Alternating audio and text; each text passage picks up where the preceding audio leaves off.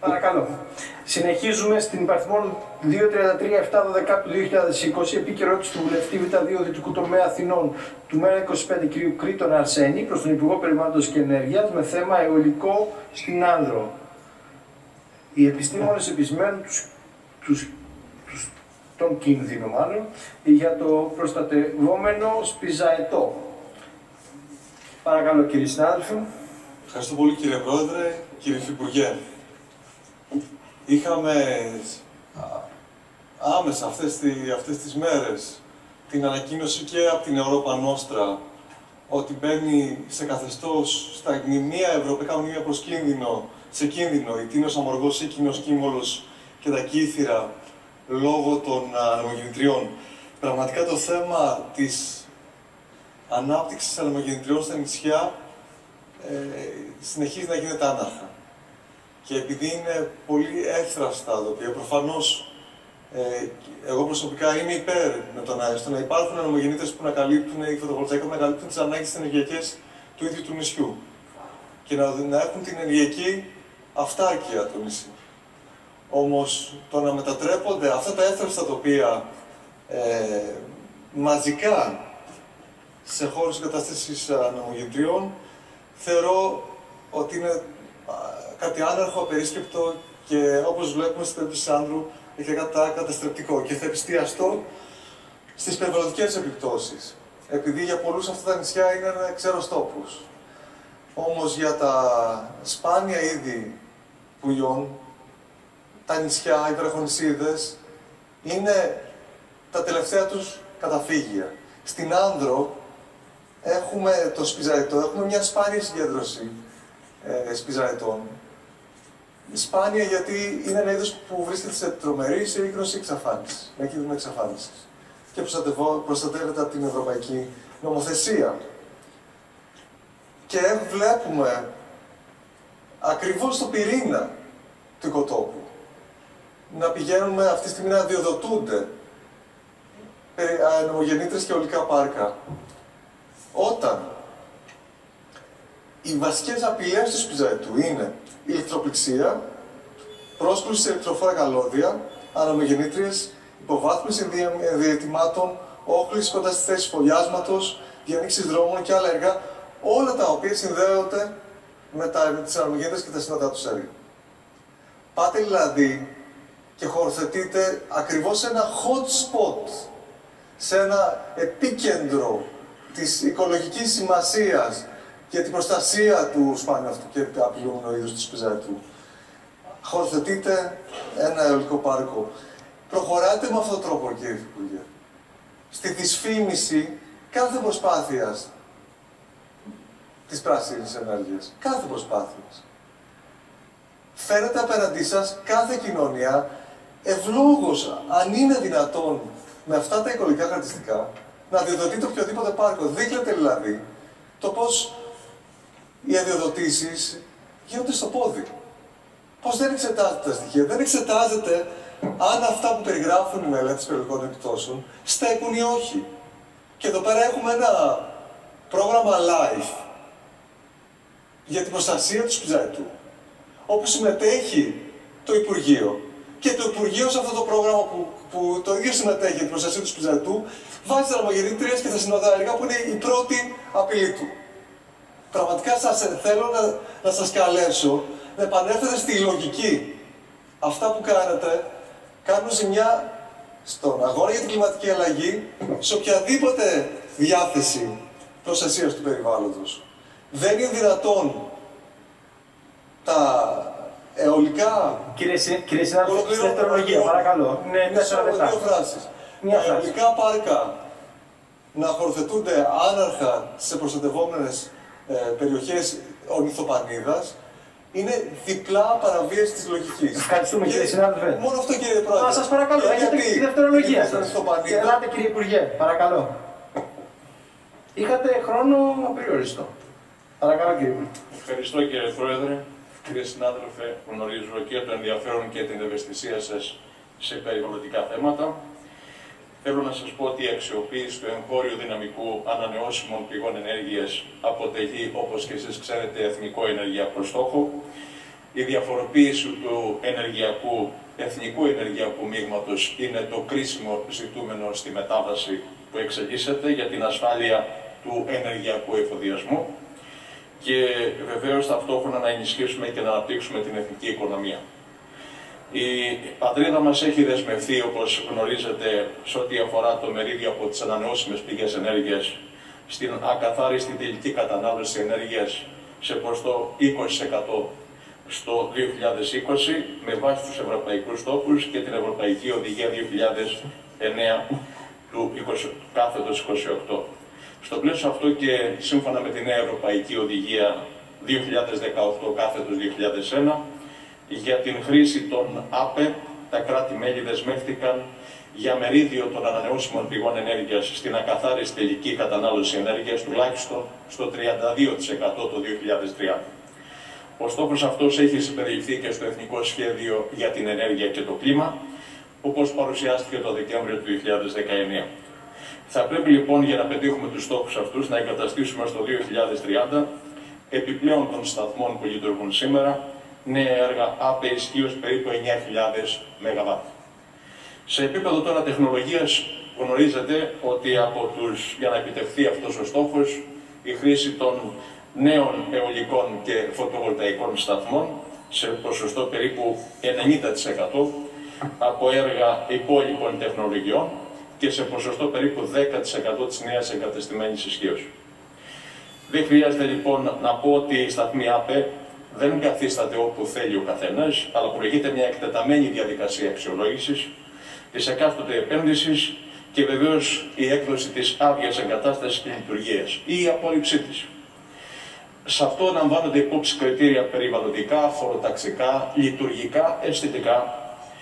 Στα αιωλικά πάρκα, στο ισχύον ειδικό χωροταξικό πλαίσιο, γιατί γνωρίζετε υπάρχει ειδικό χωροταξικό για τις ΑΠΕ, και με ειδική αναφορά στη φέρουσα ικανότητα της κάθε περιοχής, δηλαδή στο μέγιστο αριθμό τυπικών ανεμογεννητριών, με στόχο σε κάθε ενότητα να δημιουργούνται αυτά τα οποία αντέχει εντός ή εκτός εισαγωγικών με δικλείδες ασφαλείας και μικρότερες δυνατές επιπτώσεις από τις ανεμογεννήτριες στον χώρο και στο τοπίο και το περιβάλλον. Σε ό,τι αφορά στην φοροθέτηση αιωλικών πάρκων και σε περιοχές ειδικότερα Natura 2000, υπάρχουν συγκεκριμένες προβλέψεις για υποβολή ειδικής οικολογικής μελέτης που αποτιμά τις επιπτώσεις στο φυσικό περιβάλλον και στο τοπικό οικοσύστημα. Ειδικότερα το το γεωπληροφοριακό σύστημα της ΡΑΕ προκύπτει προς στο Δήμο Άνδρο η κάλυψη της επιτρεπόμενης φέρουσας ικανότητας είναι στο 32% για τη Δημοτική Ενότητα Άνδρου, στο 42% της Δημοτικής Ενότητας Κορφίου και 84% περίπου για τη Δημοτική Ενότητα Ιδρούσας. Σύμφωνα με τον περιβαλλοντικό νόμο 4685, η μη υπέρβαση της φέρουσας ικανότητας του Οργανισμού Τοπικής Αυτοδιοίκησης και Εγκατάστασης για κάθε προτινόμενο έργο αποτελεί ουσιώδη προϋπόθεση για τη βεβαίωση παραγωγού. Δεν έχουμε ακόμα ε, δεν έχουμε υπέρβαση της φέρουσας ικανότητας και δεν μπορούμε να μην εκδώσουμε αυτή τη βεβαίωση. Βεβαίως αυτά που αναφερθήκατε και αναλυτικότερα, λόγω χρόνου θα αναφερθώ στη δευτερολογία. Παρακαλώ κύριε συνάδελφε, στον χρόνο σας. Τρία λεπτά. Ευχαριστώ πολύ κύριε Πρόεδρε. Κοιτάξτε κύριε Υπουργέ, δεν είναι σωστό να απαντάτε και βλέπουμε μια πρακτική και καλό για το Προεδρείο να παρεμβαίνει σε αυτό. Δεν είναι δυνατόν οι Υπουργοί να χρησιμοποιούν τη δευτερολογία τους για να απαντάνε ή και να μην ούτε και εκεί πέρα να απαντάνε στην ερώτηση και να χάνουμε τον χρόνο μας με γενικές αναφορές στην πρωτολογία. Καθώς έτσι το βουλευτή δεν έχει το δικαίωμα να κάνει τη συζήτηση επί της ουσίας. Τώρα, λέτε ότι η φέρουσα ικανότητα καλύπτεται, δεν έχει καλυφθεί ακόμα στην άντρο. Ξέρετε, η φέρουσα ικανότητα δεν έχει καμία σχέση με αυτό που συζητάω. Πέρα από το γεγονός ότι πρέπει να εξετάσουμε ε, τι είχε γίνει στο χωροταξικό των ΑΠΕ και αν είναι σωστό, προφανώς και ο τρόπος που υπολογίζεται η φέρουσα ικανότητα αυτά νησιά είναι εντελώς λαθασμένος. Αλλά και άλλο. Εδώ πέρα έχουμε περιοχές προστατευόμενες όπου το Υπουργείο σας τρέχει ένα πρόγραμμα live. Το Υπουργείο σας, κύριε Υπουργέ. Σε αυτό το, το μέρος που εσείς καλείτε να, προστατευτεί, να προστατευτεί μέσω του προγράμματος Live, τοποθετείτε ανεμογεννήτριες που είναι μαζί με το συνοδά τους έργα η αιτία, όπως βλέπουμε, κινδύνου τους προστατευόμενους αντικειμένους, τους σπιζέτου. Δεν μας είπατε λέξη γι' αυτό. Πώς προχωράει, προχωράτε σε κάτι τέτοιο; Δεύτερον, με βάση τη μελέτη του Πανεπιστημίου Ανίνων, δεν χρειάζεται σε αυτές τις ευαίσθητες περιοχές, ούτε, δηλαδή συνολικά στις προστατευόμενες περιοχές, δεν χρειάζεται να τοποθετηθεί ούτε μία αναμογεννήτρια, προκειμένου να πετύχουμε τους στόχους απέναντι στους, ε, στην Ευρωπαϊκή Ένωση για την περιορισμό των ρήπων και απέναντι προφανώς και σε όλες τις επόμενες γενναίε. Αλλά δεν χρειάζονται αυτές τις περιοχές. Υπάρχει άπλετος χώρος να πετύχουμε τους στόχους από αλλού. Για ποιο λόγο χωροθετείτε άναρχα αναμογεννήτριε και σε προστατευόμενες περιοχές; Τρίτον, εδώ πέρα εκτιθόμαστε και ακόμα, ακόμα και αν το Υπουργείο δεν αναλαμβάνει τις ευθύνες του.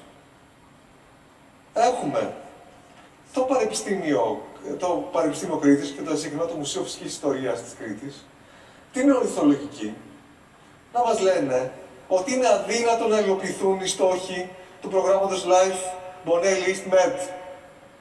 Γιατί ακριβώς πώς να προστατεύσουν οι άνθρωποι και εσείς βέβαια που είστε συμμέτοχοι στο πρόγραμμα, το σπιζαετό, όταν έχουμε αυτή τη στιγμή τη χωροθέτηση των μεγεθριών που με βάση τα μέχρι τώρα αποτελέσματα του προγράμματος είναι η πρώτη αιτία κινδύνου μαζί με τα συνοδά του έργα για το σπιζαετό. Θέλω να σας επαναφέρω στην κοινή λογική. Δεν είναι δυνατόν με πρόσχημα την κλιματική αλλαγή να καταστρέφεται τη βιοποικιλότητα και τελικά να οδηγείτε σε κατάρρευση των οικοσυστημικών υπηρεσιών που μας προστατεύουν από την κλιματική αλλαγή. Ευχαριστούμε κύριε συνάδελφε. Κύριε Υπουργέ. Ευχαριστώ κύριε Πρόεδρε. Θα είμαι πιο αναλυτικός. Βεβαίως πρέπει να αναφερθώ στο θέμα ευρύτερα για να εστιάσω, αγαπητέ συνάδελφε, τώρα. Σε ό,τι αφορά τον ιονικό σταθμό στη θέση Φραγκάκη, συνολική ισχύω 15 ΜΒ, που αποτελείται από 5 ανεμογεννήτριε. Κατέχει άδεια παραγωγής από το 2007 που τροποποιήθηκε με βεβαιώσεις τη ΡΑΕ το 2013 και το 2016 λόγω της μεταβολής του τύπου και του αριθμού των ανεμογεννητριών. Αναφέρθηκα στην πρωτολογία. Ε, και ταυτόχρονα στη μείωση της έκτασης κατάληψης από πλευράς γηπέδου εγκατάστασης. Σε όσον αφορά την περιβαλλοντική αδειοδότηση, εδώ εκδόθηκαν το 2018 η απόφαση έγκρισης περιβαλλοντικών όρων για δύο αιωλικούς σταθμούς ισχύως 15 ΜΒ και 5 γεννητριών έκαστος στις περιοχές Φραγκάκη, Κεράκη, Ξηροκόπη του Δήμου Άνδρου. Αντίστοιχα, στις εν λόγω θέσεις εμπίπτουν σε περιοχή ζώνης ειδικής προστασίας δικτύου Natura 2000. Οπότε υποβλήθηκαν και οι απαραίτητες μελέτες οικολογικών επιπτώσεων. Λόγω της ταυτόχρονης υποβολής των φαγγέλων και στη Διεύθυνση Περιβαλλοντικής Αντιοδότησης του Υπουργείου Περιβάλλοντος, αλλά και η τήρηση της διαδικασίας διαβούλευσης και η έκδοση απόφαση έγκριση περιβαλλοντικών όρων. Έγιναν παράλληλα ώστε να αξιολογηθούν συνολικά οι επιπτώσεις που θα προκύψουν από την κατασκευή και λειτουργία αυτών των έργων. Κατά τη διάρκεια της διαδικασίας υποβλήθηκαν συμπληρωματικά στοιχεία, τα οποία μεταξύ άλλων και επικαιροποιημένες ορνηθολογικές παρατηρήσεις.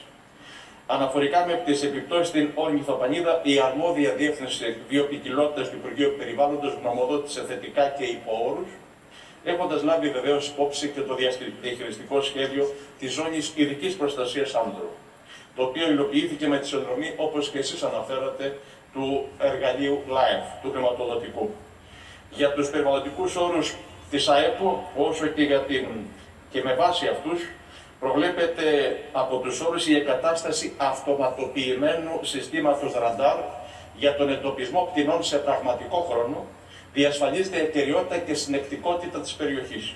Προβλέπεται εκπόνηση ετήσιων μελετών περιβαλλοντικής παρακολούθησης τόσο στη φάση κατασκευής όσο και στη φάση λειτουργίας του έργου. Αν από τις μελέτες αυτές προκύψουν στοιχεία για επιπτώσεις στα προστατευόμενα είδη της περιοχής, θα ακολουθηθεί η προβλεπόμενη από την κείμενη διαδικασία τροποποίησης. Η αξιολόγηση των ευρημάτων προγράμματος LIFE, το Bonelli Eastment βρίσκεται σε εξέλιξη από τη Διεύθυνση Βιοπικιλότητας του ΙΠΕΝ και θα ενσωματωθούν ενδεχομένως σε επόμενες νομοδοτήσεις. Τέλος, με την εκπόνηση της ειδικής περιβαλλοντικής μελέτης, μιας από πολλές που εξαγγίσονται για τις περιοχές Natura της, περιφερει... της περιφέρειας Νοτιού Αιγαίου, που αναμένεται να είναι έτοιμη το 2021, θα προβλέπεται με προεδρικό διάταγμα, τελειώνω κύριε Πρόεδρε, που θα καθορίζει τις επιτρεπόμενες δραστηριότητες εντός της περιοχής μελέτης και θα θεσμοθετηθεί το σχέδιο διαχείρισής της. Δεν μιλάμε για ακραίες λειτουργίες και σε κάθε περίπτωση για θέματα τα οποία θα αφαιθούν στην τύχη. Όλα παρακολουθούνται και ελέγχονται σύμφωνα με την αδειοδότηση και με τις προϋποθέσεις να λειτουργούν. Στα πλαίσια λοιπόν αυτά για την ορθολογική και ισορροπημένη ανάπτυξη υπάρχει και βελτιώνεται διαρκώς ώστε η μετάβαση η ενεργειακή προς τις ανανεώσιμες πηγές ενέργειας να υποστηριχθούν με παράλληλο σεβασμό στο φυσικό περιβάλλον και πολύ περισσότερο στις ευαίσθητες περιβαλλοντικά περιοχές. Σας ευχαριστώ κύριε Πρόεδρε. Ευχαριστούμε.